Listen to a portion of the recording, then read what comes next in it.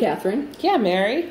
I know that Cascade TEK vacuum ovens are out of this world, but why am I looking at a picture of the space shuttle?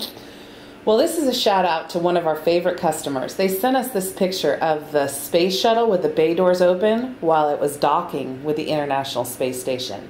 Whoa. So you see the Earth here in the background, teeny little slice of the Earth. And these are our friends at Langley Research Center. That's NASA, right? It is. So they used a Cascade TEK vacuum oven just like yours to high vacuum bake out this component that went into space. Far out.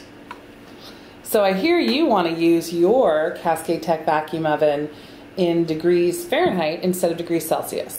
Yeah, I see that it, it comes from Cascade TEK to read in degrees Celsius, and I need it to read in degrees Fahrenheit, and, and I'm not really sure um, how to change that. Can you help me with that? It's easy to do. What we're going to do is push the up and down arrows at the same time. And I want you to watch this green display while I do that. So we're going to push the up and down arrows for six seconds. Nice manicure. Thank you. So the first thing you'll see is the operator menu. That's not the menu we want. We keep pressing till we get to the set menu.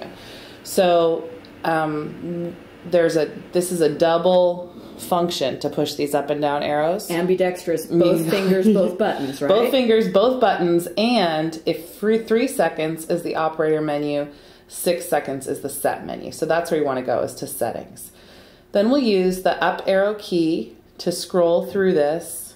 And I would ask as a special favor to me that you ignore everything in here except the global menu.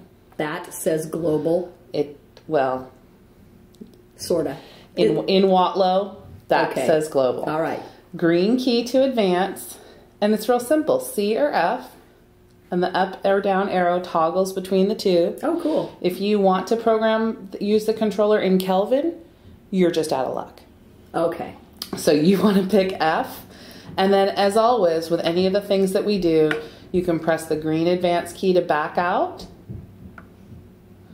or you can just go ahead and press the infinity key to return to your home screen, and you'll see now that the it reads degrees F right there, and that it's changed the values to Fahrenheit. Is it 74.2 degrees in here right now? Uh, apparently, it is. Wow. You know why? We're smoking hot.